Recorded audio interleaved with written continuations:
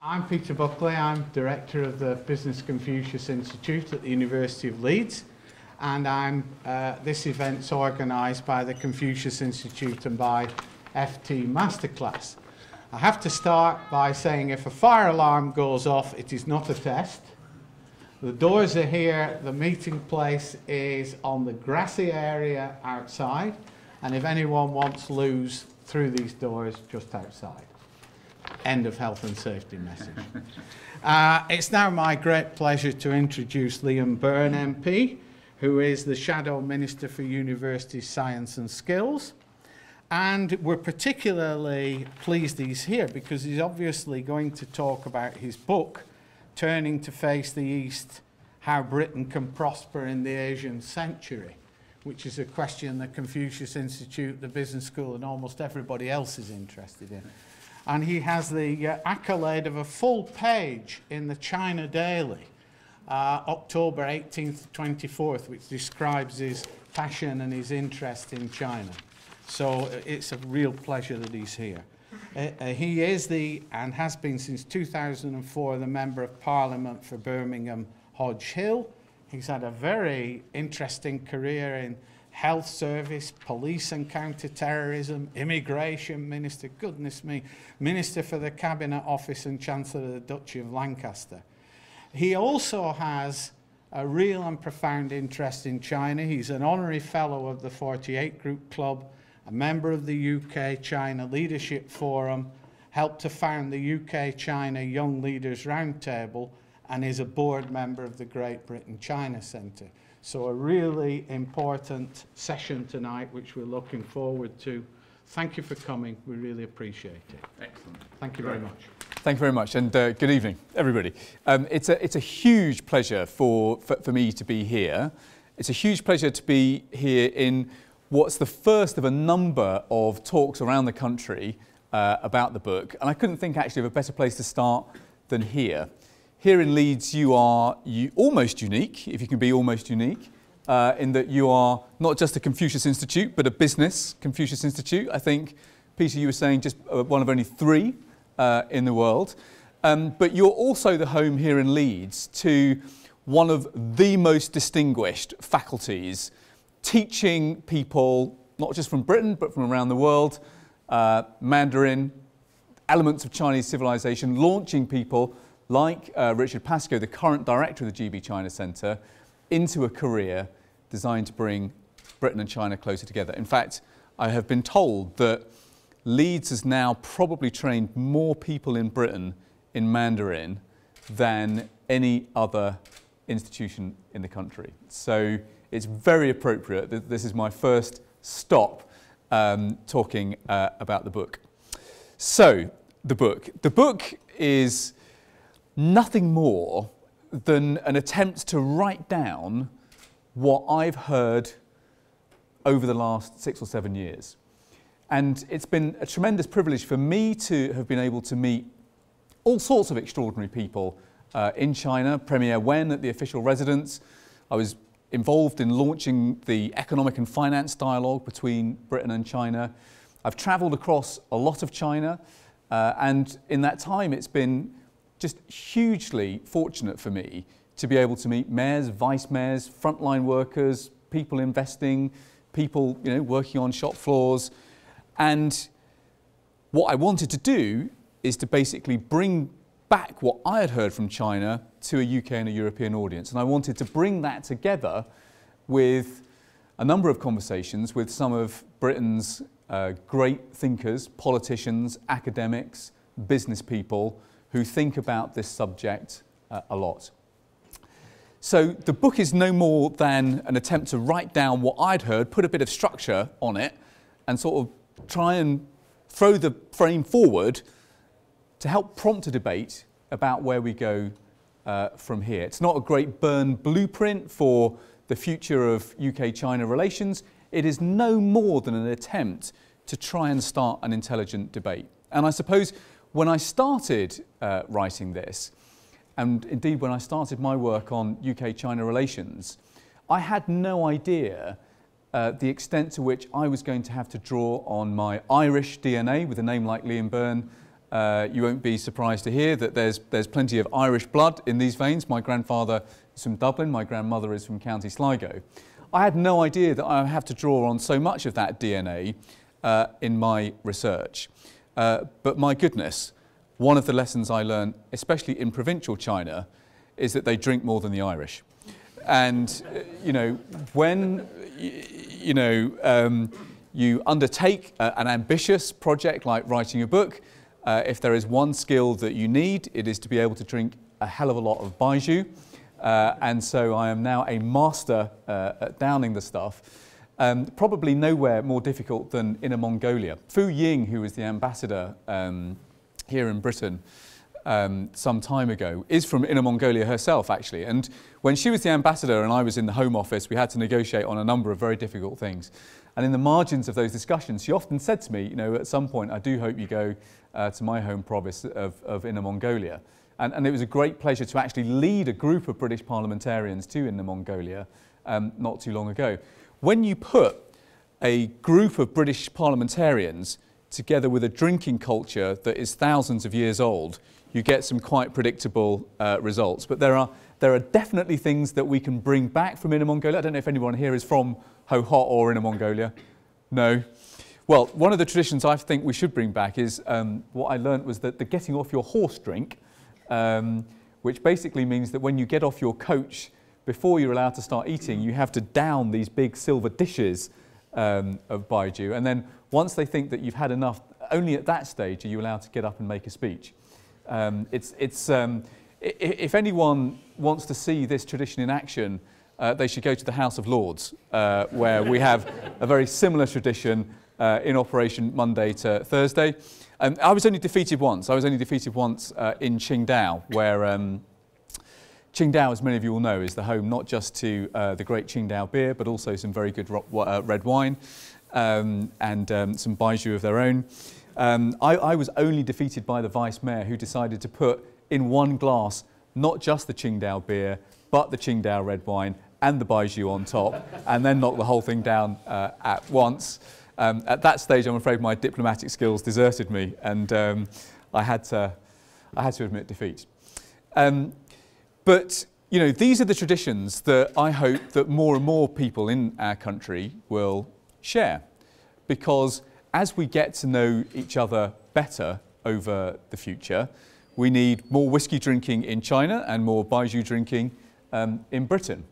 And I guess the starting point for the book is that this is not something that is simply going to enrich our lives, although it will. This is something that is fundamentally important to the future of our country. A few months ago, uh, President Obama and Xi Jinping sat down uh, for their first bilateral uh, in California, a few thousand miles away from here. And what was extraordinary about the photos that came out of that summit, it's very relaxed, very casual. What was very striking is that for us here in Britain, each of those two leaders are now probably as important as each other to the future of our country. Not something that at any point in our past history we could have said that, but it is probably true today. And so, just as America has pivoted east over the course of the Obama presidency, the argument of the book is that Britain now needs to follow suit. And we have to now begin pivoting east. And we have to get ourselves organised. You can't take a laissez faire approach to this kind of business. We do not share a border, we do not share a language, we do not share a religion, a religion in fact, we share a history of conflict. A very famous historian of the East India Company once described UK China relations back in the 19th century like this. He said, We exported courage and we imported tea. That would have been nice if it was true. Because, of course, what we were not exporting was courage, what we were exporting was opium and we fought two vicious and brutal wars in order to protect that disgraceful privilege. And when Tony Blair went on his first state visit after um, the handover to Hong Kong was successfully complete. The British Council and British, the, the British diplomatic community uh, in China uh, was doing a lot of background research into what needed to happen during the trip. And one of the things that was very striking in the research that they did amongst Chinese people is that people still brought up the Opium War. And for anyone who's gone round the, uh, the Parties Museum in Tiananmen Square and you see that exhibition about the road uh, to rejuvenation, of course it starts with the Opium War. And so this is you know, a stain on our kind of history that we can't pretend is not there. And it just, I think, raises the stakes for our diplomatic work, but it also just reminds us that in a world where we don't share borders and we don't share religions and we don't share you know, too much cultural history either, we can't pretend that UK-China relations are just going to kind of foster themselves by some kind of magic. We're actually going to have to get organised, we're going to have to think about it, and we need to get on with it. Because the truth is, here in Britain, we are in a bit of a hole. My uh, leaving advice to my successor at the Treasury is now fairly well known. Uh, but I'm afraid the reality is that since 2010, we've become even worse off than we were back then. If you look at what's happened to our economy, we are still an economy that is smaller than we were at our peak before the crash, while other countries like America and Germany are actually much bigger. Our productivity in this country is not higher than in 2010, it is 7% lower. If you look at what's happening to whether our economy is rebalancing, I'm afraid the conclusion is that it isn't. Our investment rate substantially lower than it was back in 2010. UK corporates today are sitting on 500 billion pounds worth of cash that they are not investing because they don't have the confidence to invest. If you look at our export performance, despite a 20% depreciation in the pound, our export growth has been practically anemic. The Office of Budget Responsibility has now had to revise down three times its forecasts for our export growth. By now, trade should have been a growth booster and instead it is a drag on growth. So if we want to kind of rebuild our fortunes as a country, my argument is that one of the best ways in which we can do that is to rebuild our strength and rebuild our credentials as a mighty trading nation once more.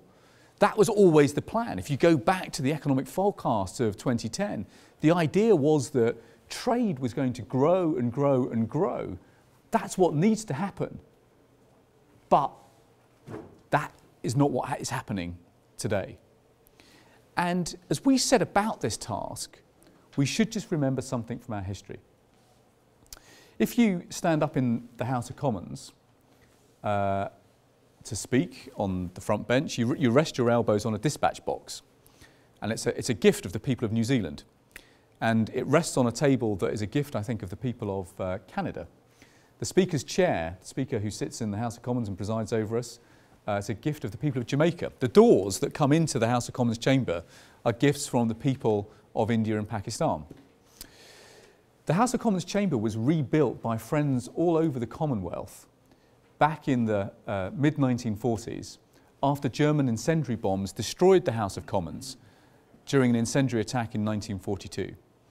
And just as the Commonwealth and just as our neighbours in Europe and just as our neighbours in America helped us rebuild in the 1940s and 50s, they helped us rebuild the House of Commons while they were at it. The challenge for us today is that our neighbours in Europe, our neighbours across the Atlantic in America, are in as much trouble as we are.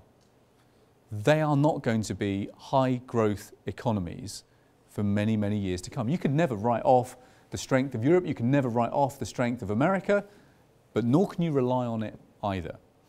And that's why we need to start turning east. This was always predicted to be the Asian century, but the global crash has meant something incredibly significant. It's arrived 20 years faster than we expected. Back in, I think, about 2004, uh, a friend of mine, uh, Jim O'Neill, was making some forecasts about the arrival of the BRIC economies. And I think back then he forecast that China would be the world's biggest economy by about 2041. Now, Some argue we're already at that point. The OECD says we'll reach that point in the first year of the next parliament. The global crash means something very, very significant. The global crash means that the Asian century is arriving 20 years faster than we expected. And the challenge for us is that we're not ready. And so that was the inspiration for writing the book. It's not really a book about China, it's actually more of a book about Britain, but a Britain that needs to prosper in the Asian century. So if Britain is going to turn east, the exam question then becomes what are we going to do about it? And what I suppose Chinese friends taught me is that we need to answer the question not first by asking what's in our own interest, but by asking what is in China's interest. What is it that China needs to do over the next 20 or 30 years in order to prosper? A friend of mine, Kerry Brown, who was the, the head of the Asia program at Chatham House and is now uh, a professor at um, University of Sydney, said to me while I was writing the book, part of the challenge that the Communist Party has right now is that Mao Zedong thought and Jiang Zemin's key points, uh, you know, they're about as relevant to most ordinary Chinese people as medieval Latin. The CCP is struggling to reinvent its political appeal and its political messaging for a state that is arriving for them much faster than they expected. And that's why it was so fascinating to see Xi, uh, Xi Jinping pronounce some very westernized political messaging. The China Dream was the great declaration of the last year, a goal of doubling living standards by 2020. But if that is to happen, then there are three big changes that need to happen in China. Many of you uh, here will be on Twitter, probably. I think you're on, you're on Twitter. Um, is anybody here on Sina Weibo as well? Yeah, some people. So um, there's a great research, British research company in Shanghai called Blue Flamingo. And you can, you can look at their blog. They've got a great thing that they do every week. They do Sina Weibo Wednesday, where on the Wednesday of every week, they go through what's going on on um, Sina Weibo and they, they write a blog about it. And one of the blogs that caught my eye was the phenomenon of little migratory birds. Little migratory birds. So that holiday period in China each year when tens of millions of children cross the continent to the coastal regions to be with their parents. They can't live with their parents because their parents are migrants. They have no hukou in the cities in which they live. They have no healthcare rights or insurance rights, often no wage enforcement either, and certainly no education rights for their children. China will not rebalance and become an economy that is driven by its consumers rather than its exports unless it builds a welfare state. We have a great National Insurance Act that's now been passed in China, but pension sa savings for most Chinese are nugatory. Healthcare insurance is something that is really expensive. Good healthcare is not available to many in the cities. But if China wants to become a country where workers save less than the 30% of their wages that they currently save, China has to build a welfare state, has to rebalance its tax policy between the federal level and local government. China will not grow, they will not double living standards by 2020 unless they build a welfare state. So that's the first thing that China needs to do. Second, many people here will have iPhones or iPads. If you just um, turn those over, what are the words that you see? The words that you see are designed by Apple in California manufactured in China. So many people in China are not concerned about you know, the great success of Foxconn, but they are concerned about why there is no Chinese Steve Jobs. When Steve Jobs died, many people in China provoked that question. Why does China not have a Steve Jobs? If you take that iPhone or if you take that iPad, off the shelf in America, it costs about $500. Only 5% of that value goes to China. A lot of the rest of it goes to South Korea for components, to Japan and to Germany for components, but about two thirds of that money goes to the intellectual property creator, which is Apple.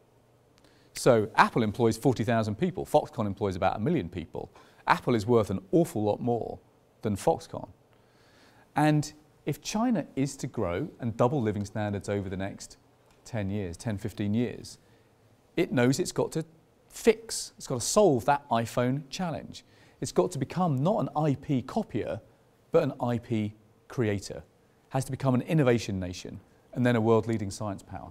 So that's the second thing that China needs to do. It has to build a welfare state, has to become an IP creator, not an IP copier. Third, third is very interesting. The third great challenge, the description of the third great challenge is not described by a Chinese politician, but by an American politician, by Larry Summers, just missed out on becoming the chair of the Federal Reserve. He had a great phrase which he used in a Princeton lecture a few years ago. He called it the balance of terror. The balance of terror between America and China, which has its roots in the fact that China owns trillions of dollars of American treasury bills. When you have exchange surpluses that are so big as China's, there are very few places you can put that amount of cash. And so the money goes into US treasury bills. But there's a problem. US treasury bills don't give you a very good return.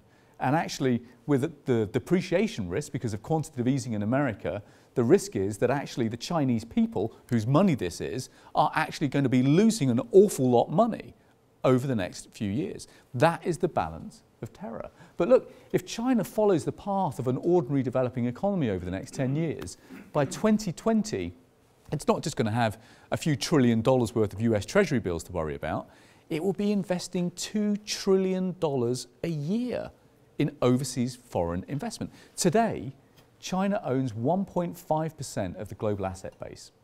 It invests the same amount of money abroad as Denmark or Singapore.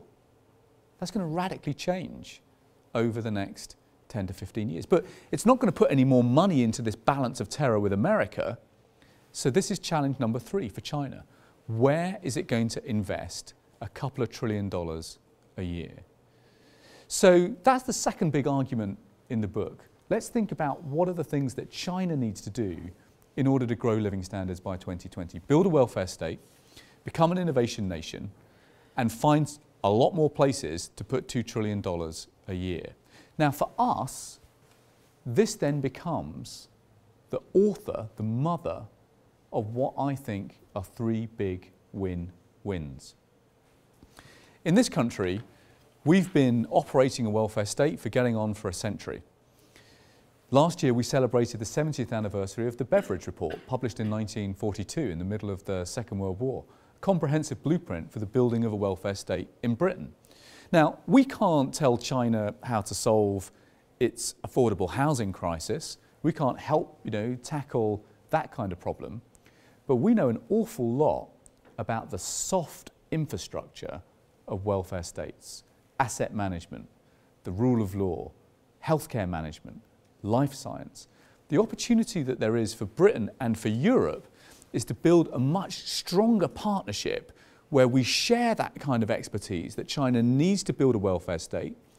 But as the consumer market grows, we should be using our membership of the world's greatest free trade club, otherwise known as the European Union, to batter open the doors of trade, not just for financial services, but for the 10 sectors where we have great industrial strengths.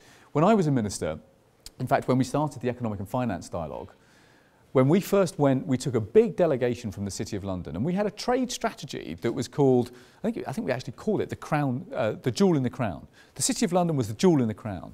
And our job was to try and get the jewel in the crown out and about as fast and as furiously as we could. But actually, when you talk to people in Britain about our great export strengths, it's not just financial services. Actually, it's automotive it's pharmaceutical, it's advertising, it's increasingly environmental services. Some of the biggest builders of Chinese cities are companies like Arup or indeed Buro Happold. You know, there are 10 sectors where we have great strength and big opportunities in China, not least higher education. So actually our strategy is, should not be all about the jewel in the crown. Our strategy should be about the crown jewels. But the quid pro quo is that hands-on help building the soft infrastructure that China needs to build a welfare state. So that's win-win number one. Win-win number two is how do we become partners in pioneering together with China? You're in one of the best universities in the world right now. Uh, and we have, not just Leeds, actually, we've got quite a lot of them. We have a large number of universities in the top 150. But better than that, we have some of the greatest companies in the world that spend the most in the world on research and development, not least in life science, also financial services, also telecoms, also automotive, also green technologies. The challenge for us is how do we connect the innovation that we have in this country with the hunger for innovation that there is in China. Now, I happen to think that university to university links will be one of the most effective ways in which we can do that. So if you take my, I'm from Birmingham, if you take my university, University of Birmingham, it's building an extraordinary partnership with Sun Yat-sen University in Guangzhou, where they are doing all kinds of great work on life science, but they're also thinking how do they spin in much of their work on high value manufacturing as well. Those kind of bridges that are actually built and assembled and put together and nurtured and watered by universities will increasingly become the bridges on which we can do so much business, which is why Business Confucius Institute is such an important combination of words because for many businesses, actually the bridges that higher education institutions build will be the bridges on which they want to walk across. So that is the second great win-win. Why is it important for us? because 99% of the world's innovation will soon come from outside Britain. The greatest companies that are investing in China today said this to me. They said, we would be in China today if we didn't sell anything. We would be in China because we are going to learn more there than we're going to learn anywhere else on the planet over the next 15 years. And that even smarter companies are thinking more strategically they're thinking about how do we grow with and within China? How do we partner with Chinese companies as China goes global? If you look at the biggest companies in the world, if you look at a big league table of the biggest companies in the world, actually very few of them are Chinese. Very few of them. 1,400 companies now control half of the world's innovation spending. Very few of them are Chinese. Most of them are from France, Germany, Britain, and America. So we have a great deal to offer Chinese companies that want to go global. I talked about uh, my newfound love of Baijiu. One of the most interesting deals that was done in China recently is Diageo's takeover of a very old, well-established Baijiu manufacturer. That deal was done because the Chinese saw a partner in Diageo who could take that Baijiu brand and put it in global duty free with all the branding expertise that Diageo can bring to bear. And actually, you know, if you go to Dubai or if you go to America, you can now see Chinese Baijiu marketed in a way that was impossible to think of five or 10 years ago. And that is the kind of win-win that is there for the taking if we think about how we become partners in pioneering. The third win-win is investment. George Osborne had a very successful trip in China. There was lots of controversy in Britain about Chinese investment in nuclear power here in Britain. Get used to that because that is what is going to happen far, far faster in the years to come. We should be setting out to become the Chinese favourite place in the world to invest. We've got an investment crisis in this country. We have banks that have deleveraged to a bigger extent than any other banking system in Europe. We have creaking public infrastructure. We have business investment that's lower than it was before the peak. We are an investment starved economy. We should be welcoming investment with open arms. But the challenge for us politically is that investment has always got to be a two-way street.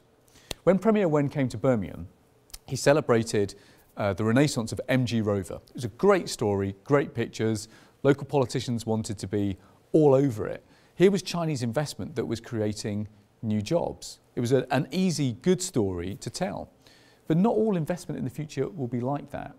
And if you want politicians to go in to defend that kind of investment, it's far easier if you're able to point to British companies that are investing significantly in China. So just as we want to kind of welcome Chinese investment in Britain politically and I think economically, it's going to become more and more important to show that it's not just a one-way street, but it is a two-way street. So these are no more than first thoughts in order to try and get uh, a debate going. Very often when you look at the coverage of um, China here in Britain, it's a kind of commentary, isn't it? You know, is China going to grow uh, fast or slow? Is there going to be a hard landing or a soft landing? Is there going to be political reform or isn't there? Uh, are we um, going to take human rights issues on head on or are we going to do it softly, softly? You know, it's often a kind of commentary on where China is going. And that's very important, but actually, it's not as important as the debate about where Britain and China are going to go together and how we get that job done. Many of you will have seen, like me, um, the great book by Bill Clinton, his memoirs that were published a few years ago. There are um, many good stories in that book, but the most important lesson in that book for me is a, a quote that he gives about halfway through. He's just lost his first election as governor of Arkansas and he's moping around the back streets of Arkansas and he's basically moaning at people and saying, you know, why was it that I lost? I did a great job, didn't I? And someone says to him, well, sure, but we paid you to go to work, didn't we? Politics ultimately is about the future. And this is Clinton's first law of politics. Elections are not about the past, they're about the future. And that's why this debate is so important. Back home in Birmingham, my children will be going to bed shortly, I hope. Um, by the time that they are at Leeds or wherever they choose to go and study, China will probably be the world's biggest economy. It will have re-established the status that it had a couple of hundred years ago before the Opium Wars.